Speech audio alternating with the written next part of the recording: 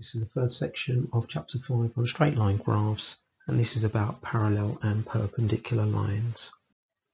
So there's only two bits of information we need to know. The first thing is that parallel lines have the same gradient.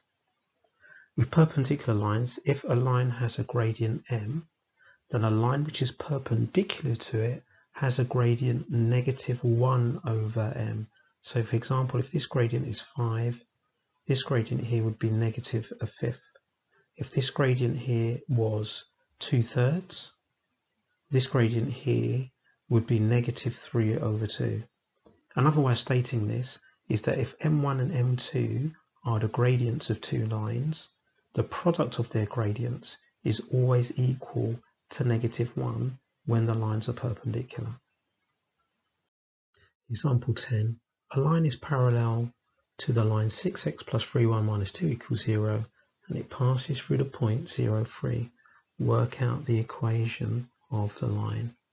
So the first thing we need to do is to work out the gradient of this line 6x plus 3y minus 2 equals 0. And the easiest way to do that is going to be to rearrange it into the form y equals mx plus c. So I'll have 3y equals negative 6x plus 2 equals 0 divide both sides by 3 and we get y equals negative 2x plus 2 thirds. So that tells us that the gradient of this line is negative 2. So we'll just write that down. So m equals negative 2. Um, and we want to find the equation of a line that has this gradient, it's parallel, and it passes through this point 0, 3. So using y minus y1 equals m x minus x1 we'll have y minus so our y1 is 3 equals m negative 2 times by x minus x1 which is 0 now it doesn't say which form to leave it in so we can leave it like that I'm going to leave it in the form y equals mx plus c so I'll have y equals negative 2x plus 3. So that's easy enough to leave it in that form. So you should now be able to do exercise 5e on page 97.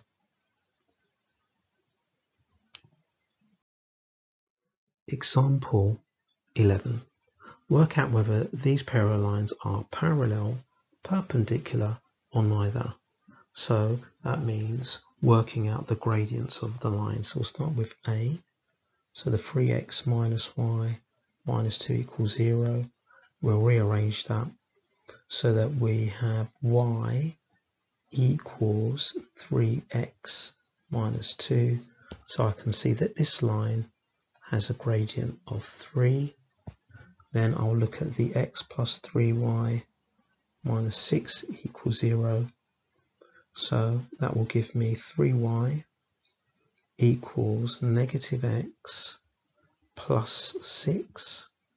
Divide both sides by 3 and I've got x equals negative or y equals negative a third x plus 2. So from here I get a gradient of negative a third.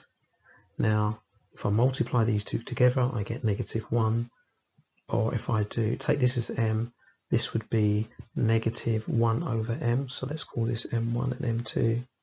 So this tells me that these two lines are parallel. So I'll just put down there since m1 uh, equals negative 1 over m2, the lines are perpendicular. Did I say parallel? I meant perpendicular. Right, let's have a look at the second bit here. So from the first one, no rearranging required. I can see that m is a half. From the second one, let's rearrange that. So I'd have y equals 2x plus, uh, sorry, 2x minus 4. 2x minus 4. Now I was right the first time. 2x plus 4. So I can see from here that the gradient is equal to 2. Now if this were negative 2 or this were negative a half, they would be perpendicular. Or if they're the same, they'd be parallel. So in fact, these lines are neither perpendicular or parallel. There's something else, but they're not either one of those. Perpendicular or parallel. So if we call this M1 and this M2, we could say that M1 does not equal negative 1 over M2. Example 12. A line is perpendicular to 2y minus x minus 8 equals 0 and passes through the point 5 negative 7. Find the equation of the line. So the first thing we want to do is to find the gradient of this line 2y minus x minus 8 equals 0. So I'll rearrange that into the form y equals mx plus c. So I have 2y equals x plus 8 We'll divide both sides by 2. So I'll have half x plus 4. So that tells me the gradient of this line, m, is a half.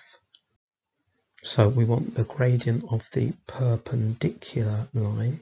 So gradient of perpendicular,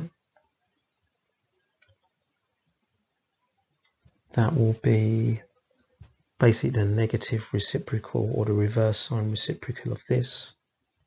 So reciprocal of a half is 2. So it will be negative 2. So I've got the gradient of this perpendicular line and I know a point that it passes through. So now we will use y minus y1 equals mx minus x1.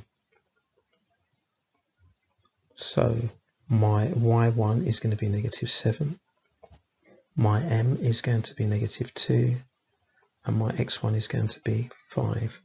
So we'll start by expanding the brackets. So you've got y plus 7 equals negative 2x plus 10. It doesn't say which form to leave it in, so I'll leave it as y equals mx plus c. So I'll have y equals negative 2x, take away 7 from both sides, and that will be y equals negative 2x plus 3. So you should now be able to do exercise 5F on pages 99 to 100.